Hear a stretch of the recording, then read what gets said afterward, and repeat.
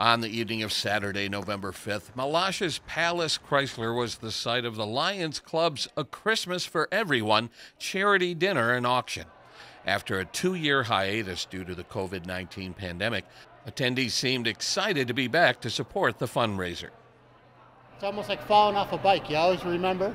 Uh, just trying to get back into the flow of everything. It's been way too long, um, but uh, I think by the, based on what the crowd we have this year, it's going to be a fantastic night, and I really hope everybody enjoys themselves and have just has a great time. Those in attendance enjoyed a buffet dinner courtesy of Metamora Golf and Country Club's Fairway Catering. There was a live auction, wine pull, cookie sales, and a silent auction was replaced by a bucket raffle with tables of prizes donated by local businesses and organizations. Well, we got to start off with the Milosch family, of course. Can't this is not possible at all without them.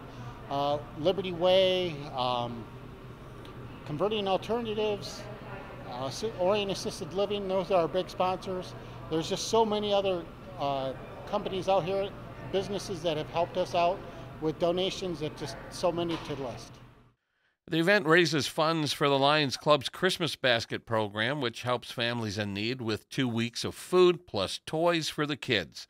Volunteers will gather at the Cirque Building on December 16th to organize the food and toy donations, then deliver them to families on Saturday, December 17th. All of the funding that we raise tonight will go 100% to that. Um, last couple years, thankfully, we've been able to kind of live off of our, of our reserves that we've had. So this is a real welcome uh, boost to our to our finances.